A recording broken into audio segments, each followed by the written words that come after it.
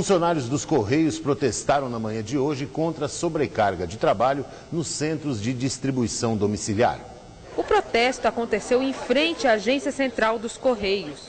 Eles reclamam que não há número suficiente de carteiros para atender todo o estado e acabam sobrecarregados. Os trabalhadores querem uma atitude da direção geral, senão ameaçam paralisar as atividades. Os carteiros estão fazendo esse ato público justamente para pressionar a direção da empresa aqui em Alagoas para realizar contratações. Porque hoje grande, o grande problema da categoria como um todo é a questão da sobrecarga.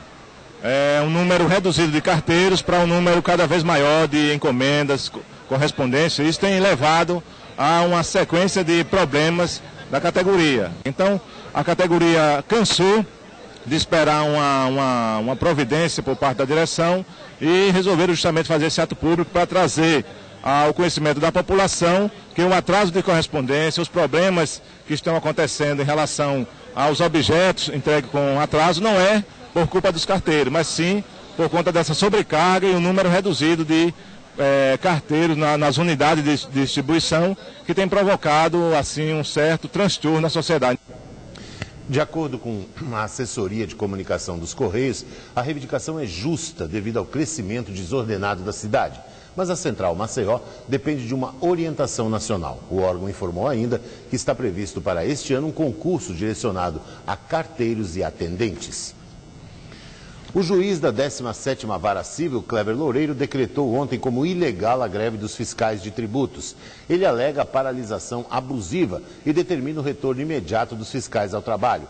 Caso a categoria descumpra a decisão, terá que pagar multa de 10 mil reais por dia, além de desconto dos subsídios dos grevistas pelos dias paralisados. Se o exemplo for a greve é, que aconteceu recentemente da Polícia Civil, a decisão do juiz vai permanecer sem atingir aí os fiscais de tributos. Né? Como se sabe, o Sindipol fez uma greve, passou sete meses com a Polícia Civil paralisada.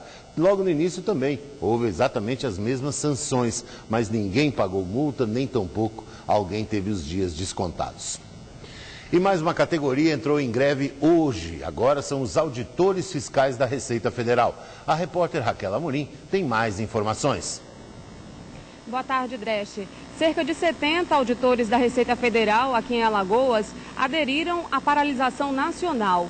Hoje, o Brasil conta com cerca de 12 mil auditores ativos. Eles pedem a equiparação salarial com os delegados da Polícia Federal. Um auditor ganha hoje, em média, R$ 13.300 e um delegado da Polícia Federal ganha, em média, 18 mil reais. Neste momento, alguns servidores estão reunidos aqui em frente ao prédio da Receita Federal, no bairro do Jaraguá, como uma forma de protesto. E eu converso agora com o presidente do sindicato da categoria, que é o José Gonzaga, José Gonzaga Filho, para nos trazer maiores informações. Boa tarde, Gonzaga. Gonzaga, já existe algum indicativo de proposta com o governo, de ajuste com o governo? Boa tarde, Raquel. Boa tarde, ouvintes da TV Alagoas. Em tudo na vida, quando acontece um movimento, é porque há uma razão de ser.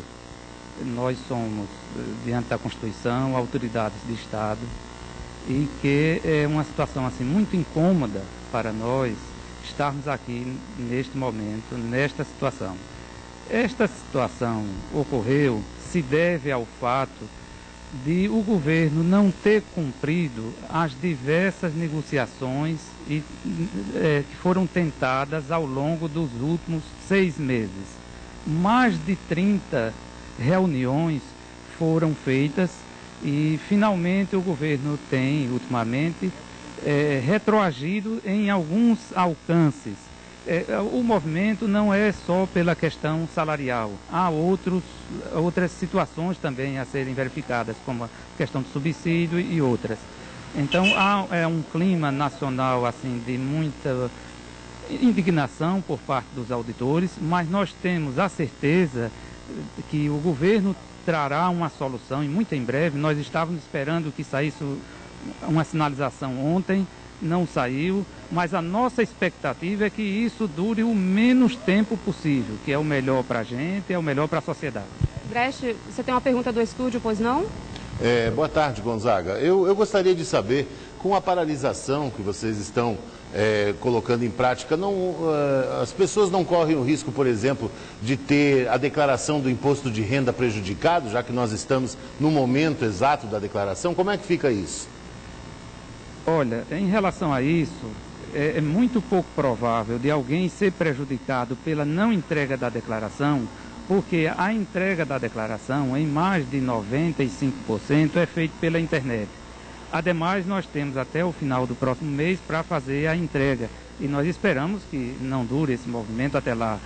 Então, eu não vejo isto como uma preocupação. E segundo, é, o Supremo Tribunal Federal determinou os limites da possibilidade de quanto, qual percentual de servidores poderiam fazer parte da greve. Então, nós estamos respeitando o limite constitucional, que seria de 30% da, das pessoas eh, estão no trabalho. Muito obrigada, Gonzaga. Voltamos ao estúdio. Dresch. Muito obrigado, Raquel. O, o ex-governador Ronaldo Lessa e a presidente do PSOL, Heloísa Helena, se reúnem hoje no início da tarde para discutir uma possível aliança para a Prefeitura de Maceió. Possivelmente, a chapa a ser composta colocaria Heloísa como candidata a prefeita e Ronaldo Lessa como vice. Sei não se vai dar certo, hein? Essa aí eu pago para ver.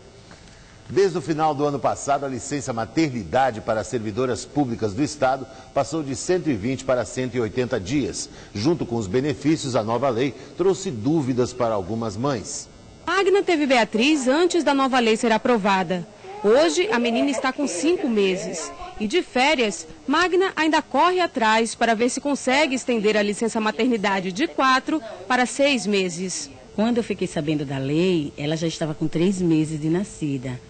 E aí eu estive na junta médica, solicitei a prorrogação do, do prazo da maternidade e eles falaram que tinha que entrar com requerimento para poder ser enviado à Procuradoria Geral do Estado. E eu fiz isso. Só que até agora a Procuradoria não se pronunciou. O projeto que aumenta o prazo da licença maternidade é de autoria do deputado Judson Cabral.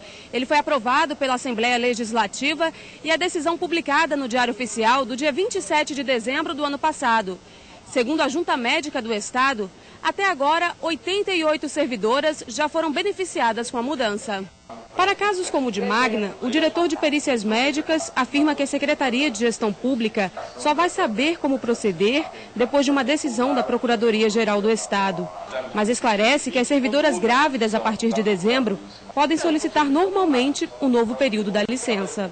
As que eh, deram à luz a partir do dia 27, um procedimento automático, é só vir aqui a, a, ao setor, trazer a, o atestado médico, eh, geralmente trazem a certidão de nascimento ou então a certidão de nascido vivo, e isso automaticamente é publicado em Diário Oficial. Sem entrar nessa questão, o vice-presidente do Conselho de Medicina de Alagoas considera a extensão por mais dois meses uma vitória da classe médica e principalmente das mães. A ampliação de, quatro para seis meses da licença maternidade é fundamental, principalmente no que se refere ao aleitamento materno. As crianças devem ser amamentadas com leite materno exclusivamente até os seis meses. E esse é o maior benefício. Além desses, os laços afetivos da mãe